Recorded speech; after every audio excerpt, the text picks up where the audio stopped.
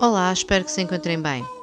David Carreira foi convidado de Manuel Luís Goxa naquela que foi a sua primeira grande entrevista após a perda de Sara Carreira em dezembro de 2020.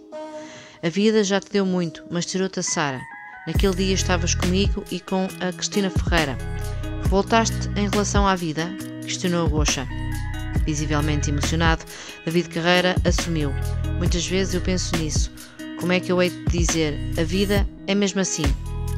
A vida é muito complicada às vezes, é o que eu sinto. É muito difícil, mas também tem momentos brutais e acho que é preciso, e é o que eu tento fazer, agarrar-me aos momentos bons. A Sara sempre foi a luz na nossa família, sempre foi a luz. Eu sinto que esta forma de continuarmos a manter essa luz é importante. Há coisas que me magoam muito, é óbvio.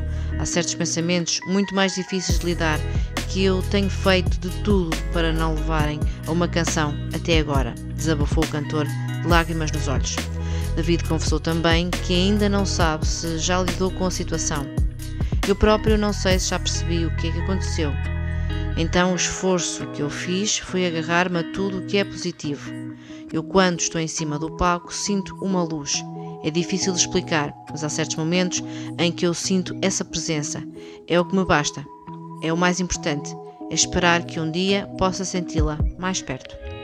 Manuel Goxa quis saber: imaginas-te a jantar com ela esta noite? Se a visses, o que é que lhe dirias? E David respondeu: Muita coisa, muita coisa. Isso eu tenho a certeza que ela sabe, que tenho saudades.